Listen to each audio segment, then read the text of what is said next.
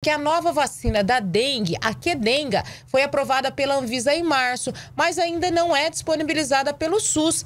Para se vacinar, é necessário procurar por clínicas particulares, mas o preço pode pesar no bolso. Acompanhe a reportagem do Emerson William.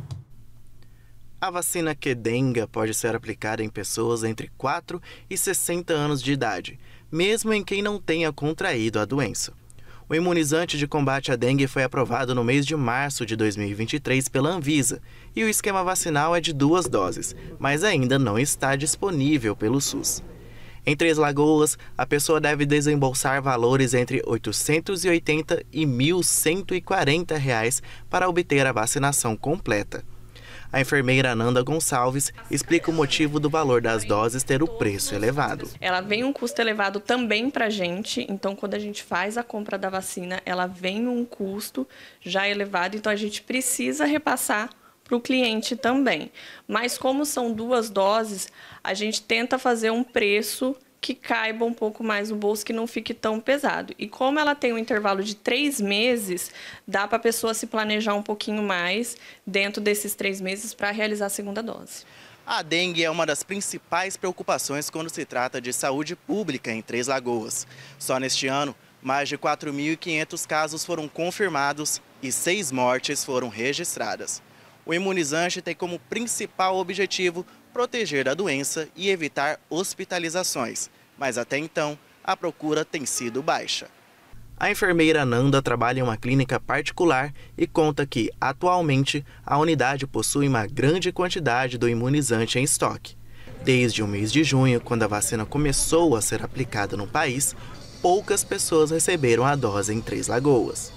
Quando foi aprovado pela Anvisa, teve muita procura para saber mais informações sobre a vacina. Depois, quando foi disponibilizada a comercialização, porque teve um período de aprovação pela Anvisa e depois a comercialização. Teve a procura e também a aplicação dela também, só que foi um pouquinho mais baixa a aplicação em si. De acordo com a Anvisa, o imunizante Kedenga tem 80% de eficácia em prevenção contra o contágio da dengue e 90% quando se trata de evitar hospitalizações. A aplicação é feita em duas doses, sendo que a segunda se deve tomar depois de três meses para então completar o esquema vacinal. A aplicação é via subcutânea, ou seja, ela não é como é feita a de gripe, que é no músculo. Ela é feita, a gente chama na gordurinha do braço. Ela é uma vacina bem tranquila, ela não apresenta reação, tá? E ela é feita em duas doses. Primeira dose, depois segunda dose, depois de três meses. Se tomar a primeira e não tomar a segunda dose, o que é que acontece? Como o esquema são duas doses, você fazendo a primeira dose e não fazendo a segunda, esse esquema fica incompleto e, consequentemente, o resultado dela não vai ser eficaz como esperado das duas doses. Então, precisa estar tá fazendo o esquema completo.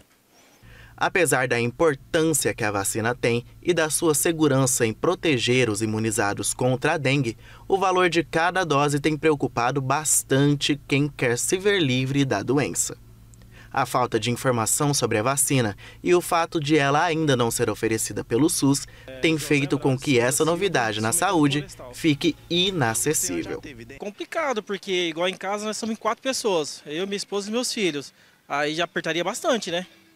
Para todo mundo tomar. Também só eu tomar também não adianta. Certo? Se a vacina ela for disponibilizada pelo SUS, o senhor vai estar indo no postinho para tomar a vacina? Sim, vou. É igual da Covid também, né? Tá tendo a gente sempre tá tomando tudo certinho. É muito caro. Salário mínimo tá quanto aí? Não, de jeito nenhum. Não tomaria. Não vou ter nenhum problema de sair para ir lá. Eu já vou lá todos os dias. Então, tomaria sim. Pelo SUS, sim. Pagar 900, 800 reais nos dias de hoje numa vacina contra dengue, de jeito nenhum, absurdo. De acordo com a assessoria da Secretaria Municipal de Saúde, o novo imunizante ainda não tem previsão de chegar ao SUS ou de ser incorporado ao calendário do Plano Nacional de Imunizações, nem qual público será contemplado em primeiro momento.